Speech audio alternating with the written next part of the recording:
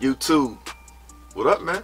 it's your boy Street Tate, back to back videos for you guys, man. If y'all didn't check out the Black Cement 3 video that's just like this one, click that link. It'll take you over there and y'all can get all familiar with where I've been at and what's up with the Black Cement 3s, man. If you're new to the channel, go in my channel and check out all the past comparison and collection style videos that I've done. My lane is comparison and collection segment videos, man, so y'all don't want to miss them joints. Follow me on the gram and snap because I do have shoes for sale. StreetTate.BigCartel.com. The link is down below. Don't sleep.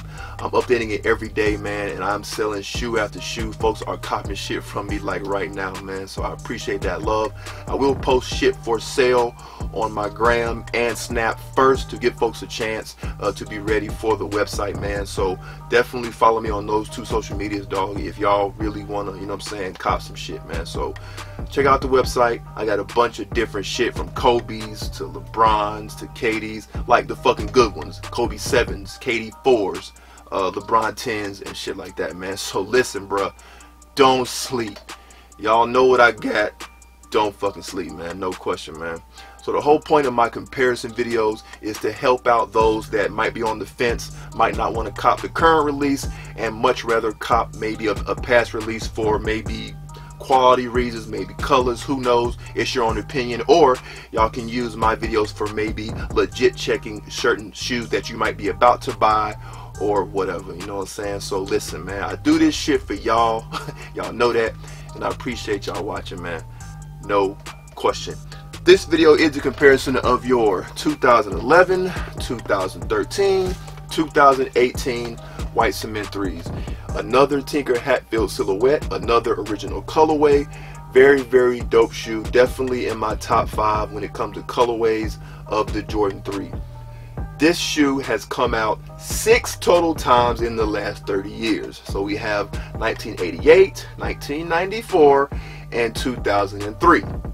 2011, 2013, 2018, man. So there are six different times where you could have copped this shoe. So if you don't have a pair and you want a pair, there really is no excuse, man. There's plenty of pairs out there just like the black cement threes, man. So no question. All right. Now I know y'all about to write down the comments. What about the Justin Timberlake threes? Listen, man. Listen. Okay the Justin Timberlake threes, in my opinion, okay, y'all know I'm a OG head, right?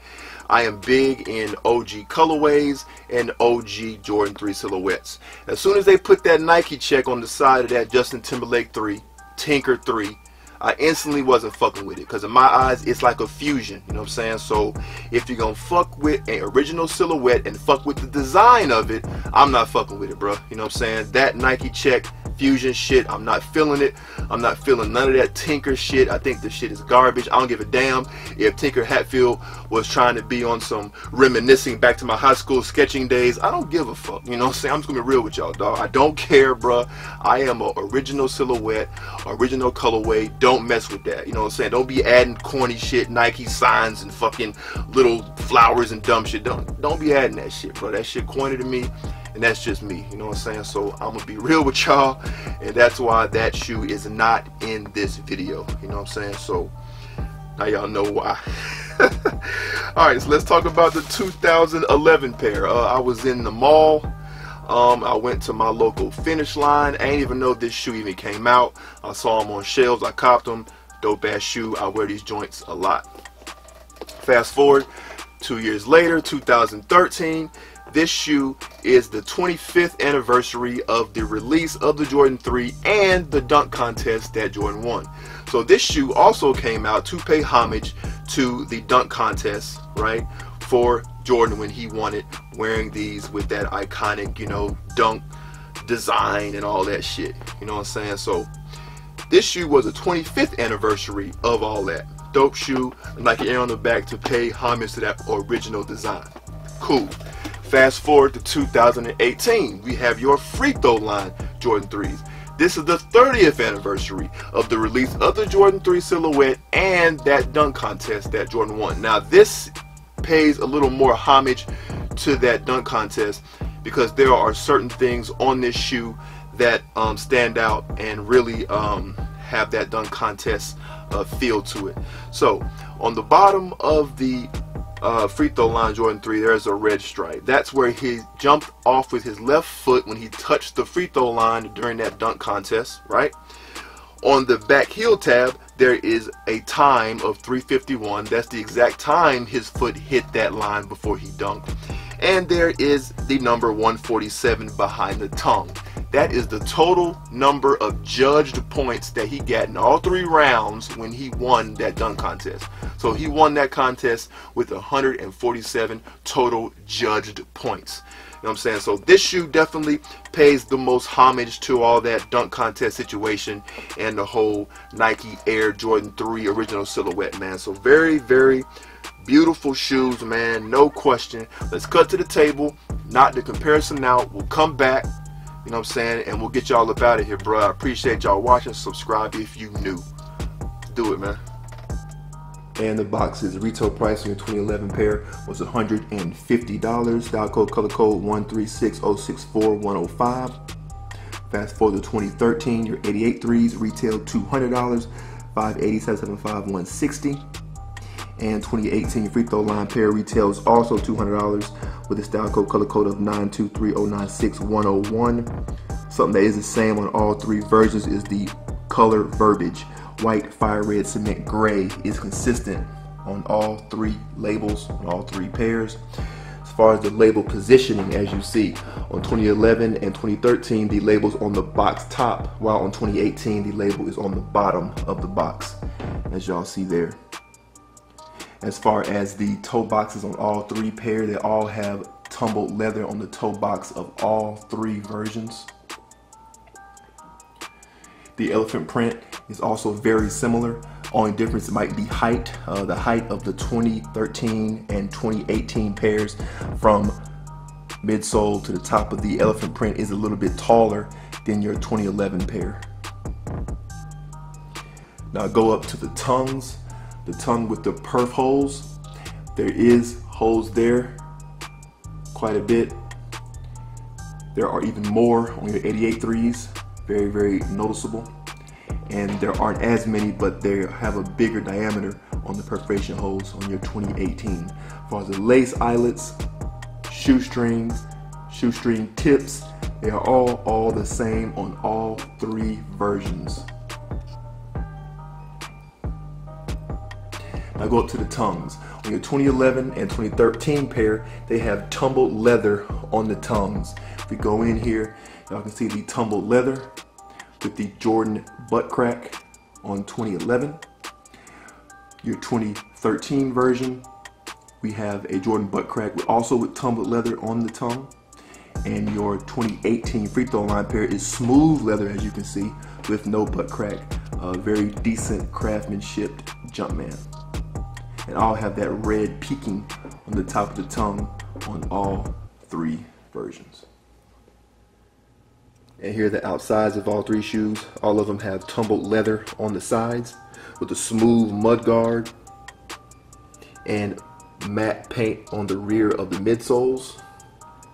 All of them have the same midsole design. The shape is the same for all three pairs.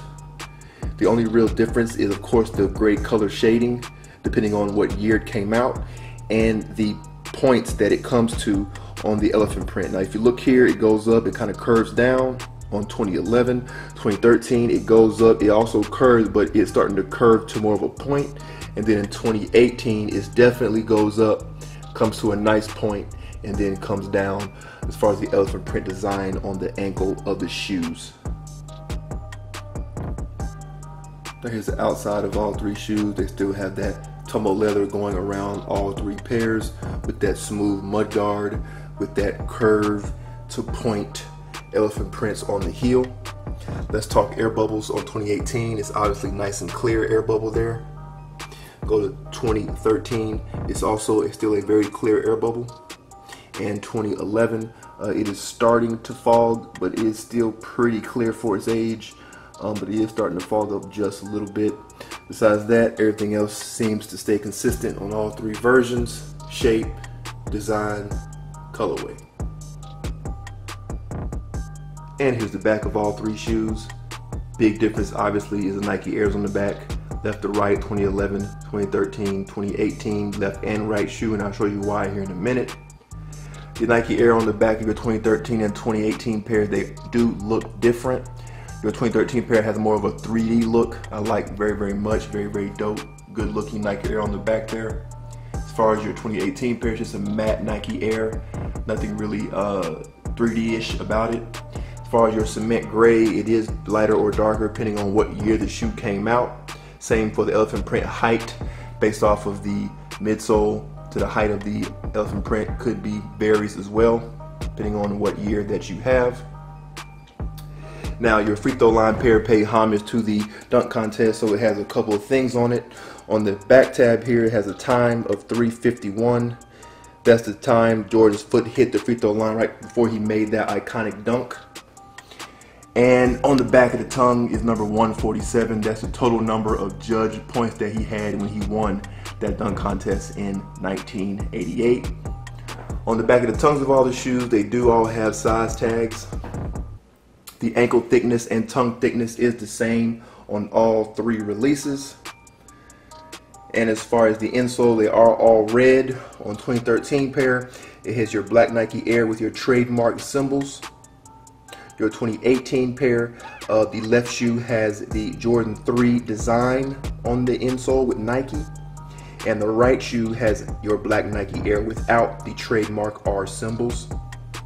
And of course your 2011 pair has your standard black Jumpman that we're all used to.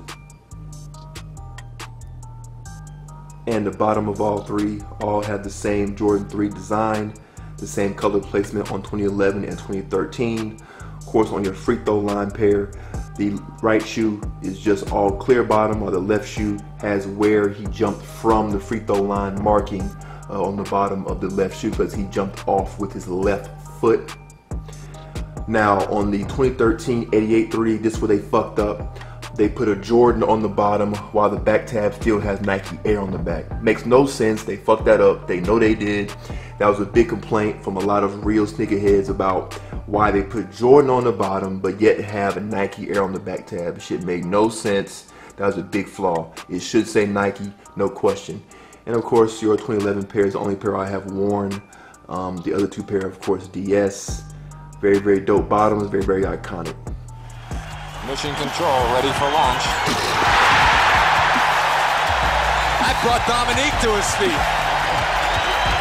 And a 50 for Michael Jordan on his first dunk of the semifinal round. All right, YouTube, which one you rocking? 2011, 2013, 2018? Let me know down in the comments, man, which one y'all rocking with. Give me y'all thoughts on the Tinker 3s. Do y'all like them or nah? Um, if I had to choose out of these three, I would go with the 2013 pair because I'm not a fan of clear bottoms. If the bottoms on the free throw lines weren't clear, I'd definitely go with this, man. Very, very dope nostalgia and paying homage and all of that. But because of this clear bottom, I'm not really feeling it. So I'm going to go with the 2013 pair, even though it has Jordan on the bottom and a Nike Air heel tab. That shit makes no sense to me. Whoever designed that and shit, they need to be fired no question. You know what I'm saying? But definitely going with the 2013 pair for me on this one. Um, something else I thought that was kind of cool, I guess, or lazy, was the hang tags from 2013 and 2018 are exactly the same. So the five-year gap, they still use the same hang tag. You know what I'm saying? Probably just some leftovers and shit. You know what I mean? But thought that was kind of cool. But again, if the free throw lines didn't have clear bottoms, I would definitely have chose this one, man. So let me know in the comments, man, if y'all have any of these, any of the older ones. Give me y'all's thoughts down in the comments, man. I appreciate y'all watching. Subscribe if you new. Follow me on the gram and snap. Shoes for sale. Link below. Don't sleep. And listen, man. IGTV video coming soon showing you upcoming comparison videos. So make sure y'all go follow me on IG, no question. And uh, yeah, man, shit, I'm back, alright? I appreciate y'all, man. I got love for y'all, no doubt. You can't just say you real, something you gotta be. See y'all next week. This video is a comparison of your 2012 release Jordan 9 Olives versus your January 20th, 2018 released Jordan 13 Olives. It's permanent. I put a Patek in traffic like Pablo Escobar. I adapted immaculate on going extravagant. Yeah.